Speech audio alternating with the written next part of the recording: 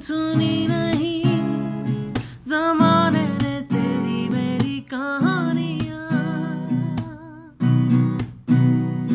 कर दे कोई नवाजिश, करम, मेहरबानियाँ।